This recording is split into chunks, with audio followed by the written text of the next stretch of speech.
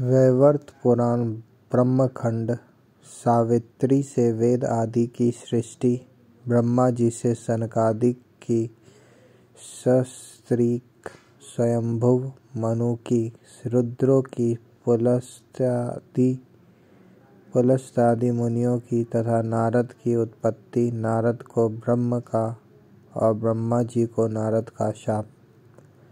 वैवर्त पुराण, ब्रह्मखंड सावित्री से वेद आदि की सृष्टि, ब्रह्मा जी से सनकादिक की सस्त्रिक स्वयंभुव मनु की, रुद्रों की पुलस्तादि मुनियों की तथा नारद की उत्पत्ति। नारद को ब्रह्मा का और ब्रह्मा जी को नारद का शाप। सौती कहते हैं, तदंतर सावित्री ने चार मनोहर वेदों को प्रकट किया।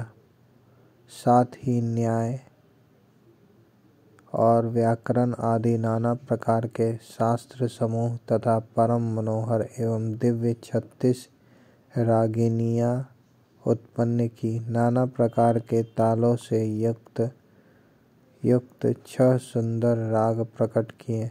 सतयुग त्रेता द्वापर कली कलि, प्रिय कलयुग, वर्ष, मास, ऋत, तिथि, दंड, क्षण आदि, दिन, रात्रि, वार, संध्या, उषा, पुष्टि, मेधा, विजया, जया छह कृतिका, योग, करण, कार्तिकेय, प्रिया, सती, महाषष्ठी, देव, सेना, जो मातृकाओं में प्रधान और बालकों की इष्ट देवी हैं। इन सबको भी सावित्री ने ही उत्पन्न किया। ब्रह्म, पाद्य और वाराह ये तीन कल्प माने गए हैं। नित्य, नैमित्तिक, द्विपरार्ध और प्राकृत, ये चार प्रकार के प्रलय हैं। इन कल्पों और प्रलयों को तथा काल, मृत्यु, कन्या एवं समस्त व्याधियों, व्याधिगणों को उत्पन्न करके सावित्री ने उन्हें अपने स्तनपान कराया। ब्रह्मपाद्य और वाराह ये तीन कल्प माने गए हैं। नित्य, नैमित्तिक, द्विपरार्ध और प्राकृत। ये चार प्रकार के प्रलय हैं।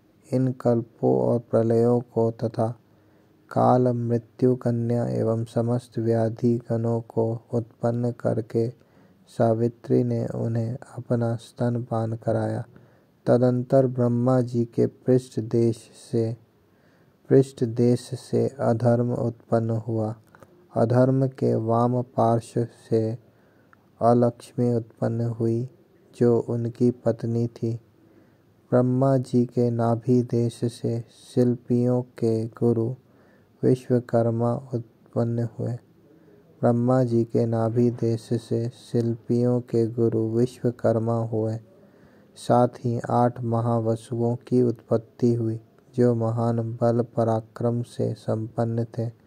तत्पश्चात विधाता के मन से चार कुमार आविर्भूत हुए, जो पाँच वर्ष की अवस्था के जान से जान पड़ते थे। और ब्रह्म तेज से प्रज्वलित हो रहे थे। उनमें से प्रथम तो सनक थे। तत्पश्चात विधाता के मन से चार कुमार आविर्भूत हुए, जो पाँच वर्ष की अवस्था के से जान पड़ते थे और ब्रह्म तेज से प्रज्वलित हो रहे थे। उनमें से प्रथम तो सनक थे। दूसरे का नाम सनंदन था। तीसरे का नाम तीसरे सनातन और चौथे ज्ञानियों में श्रेष्ठ भगवान सनत कुमार थे। इनके बाद ब्रह्मा जी के मुख से सुवर्ण के समान कांतिमान कुमार उत्पन्न हुए, जो दिव्य रूपधारी था। उसके साथ उनकी पत्नी भी थी। वह श्रीमान एवं सुंदर युवक था।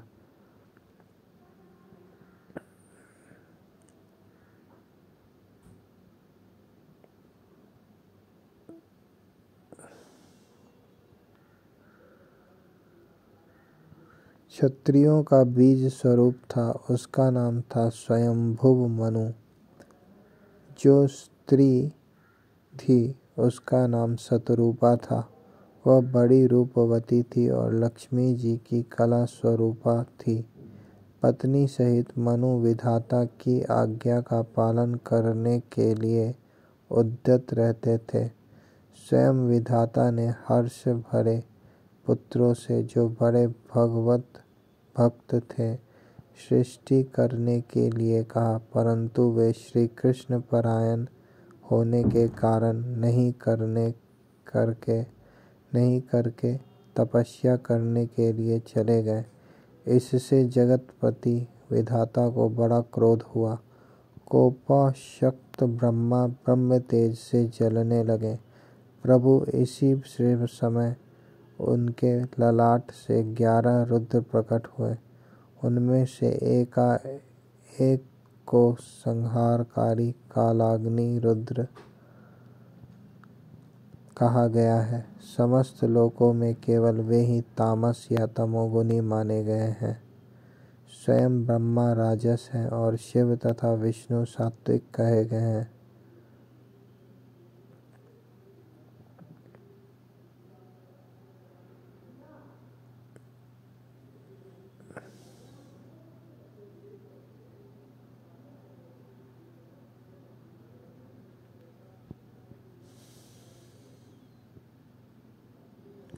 समस्त लोकों में केवल वे ही तामस या तमोगुनी माने गए हैं।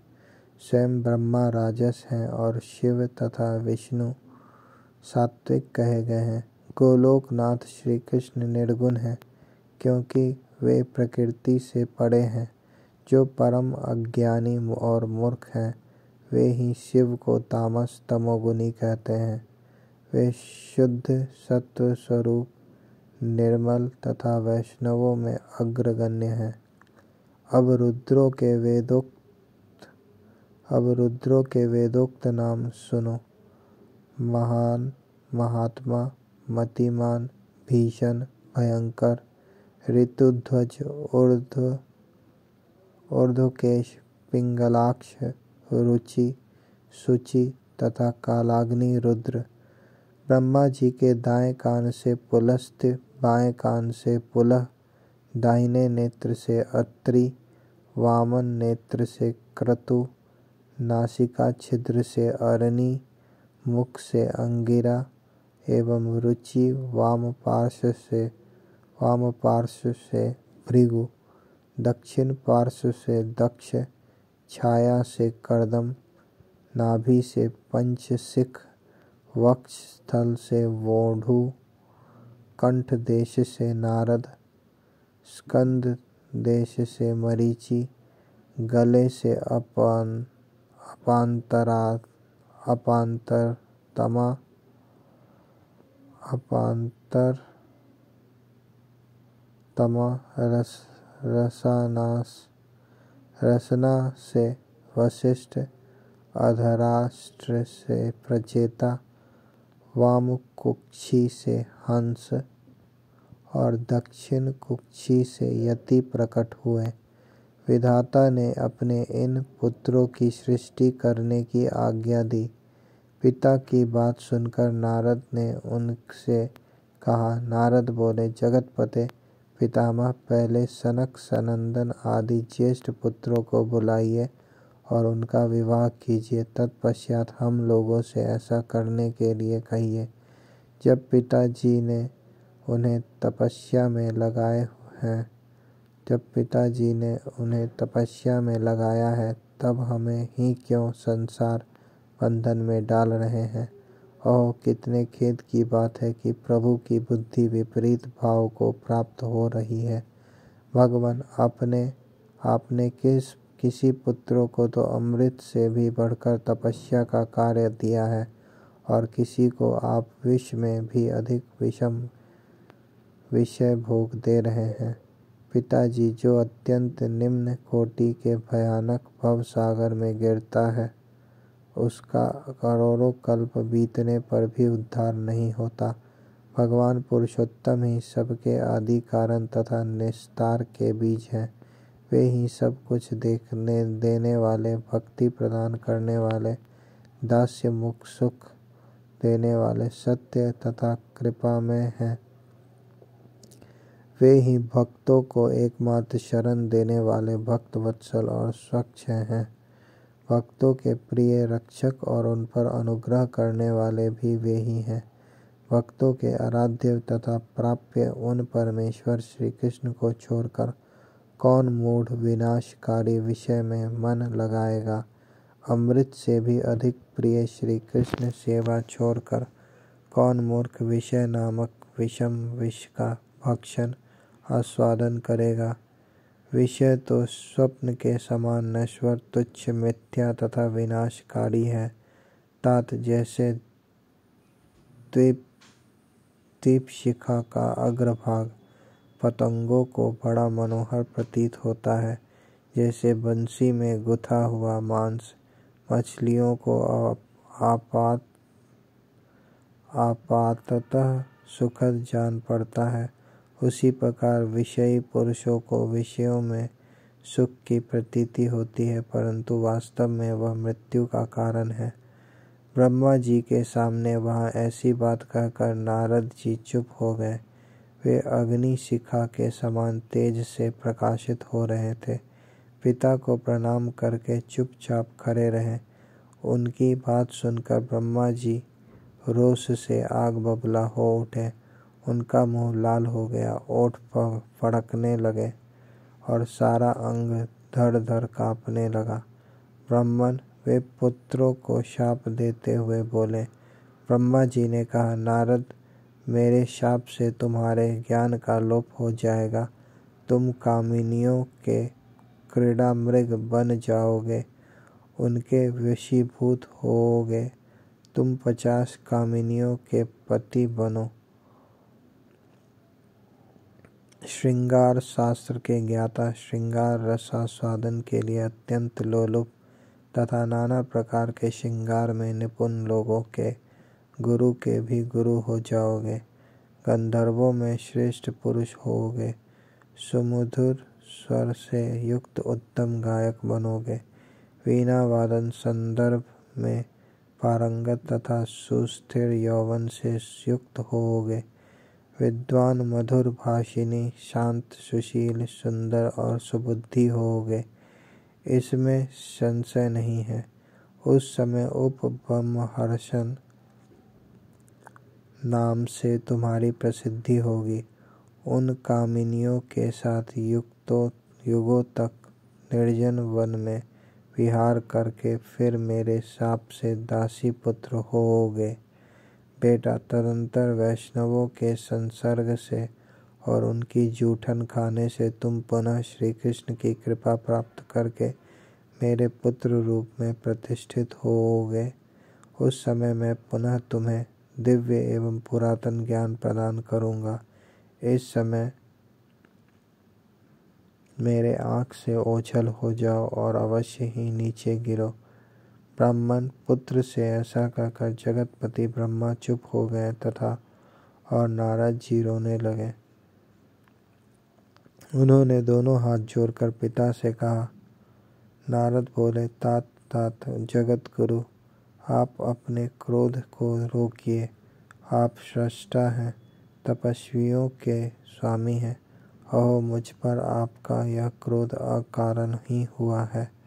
विद्वान पुरुषों को चाहिए कि वह कुमार्गामी पुत्रों को शाप दे अथवा उसका त्याग कर दे। आप पंडित होकर अपने तपस्वी पुत्र को शाप देना कैसे उचित मानते हैं?